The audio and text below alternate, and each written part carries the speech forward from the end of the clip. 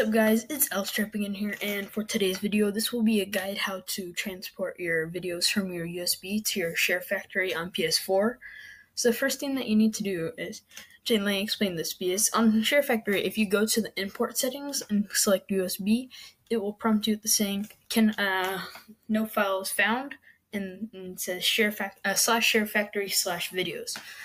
But usually when you download uh, things on your USB, or at least when I do to transport them, it goes in PS4, Share, Share Factory, Videos, and that's where I usually put it. But this is different and does not allow you to do that. So the first thing that you need to do is go to your USB drive and create a new folder called Share Factory. All caps, no spaces. Alright, and in the share factory folder, you're gonna need to create a another folder called videos. Yeah, is what's saying on the thing is that it's looking for a folder right when it gets to it that's named share factory, and also that's under under that folder it's named videos. So that's what we're basically doing right here. So now that we have those two folders, I'm going to show you how to convert your uh, files in case they do not match up with your uh, the PS4. See you guys there.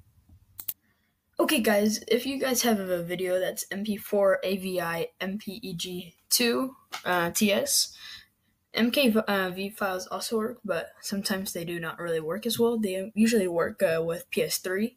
But anyway, if you have those files, just skip to the next part. But if you do not have it as that file, come to uh, file converter. Let's just restart this. Anyway, so from here, it's actually, if you just search convert MP4, yes, that's what usually works well. Anyway, from here, you go to here and choose a file that you would want to change. I'm going to be using the video from earlier explaining the share factory stuff. Sorry, this takes a while to load.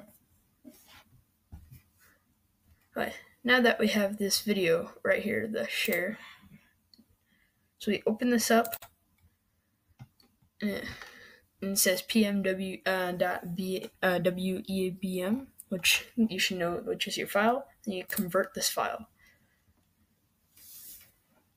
After when it finishes loading, it will prompt you with a screen that says uh, download, but do not click any of the download buttons. It will automatically download to your desktop or uh, laptop. So make sure not to do any of those because they might be viruses. But see as here, it will prompt you with the download button right here. Or not right there, but usually it does.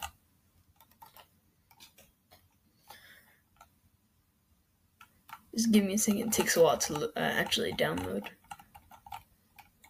As you can see, it starts downloading right away.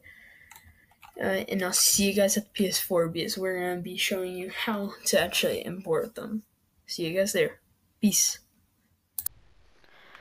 Okay guys, now that we're here on the PS4, what you need to do is go to import content.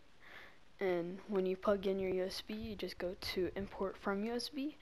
And these videos will load up because now that you've changed it, see as part 1 and part 2 of my thing.